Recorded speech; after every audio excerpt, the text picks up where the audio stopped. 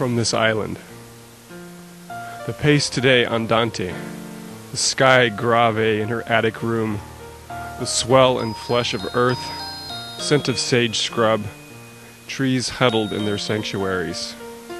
It's all music to me, the invasives with their melodious names eucalyptus and sweet fennel, yellow star thistle, stone pine, the slur of island wind, whisper in the grass, a treble clef severed from its stave.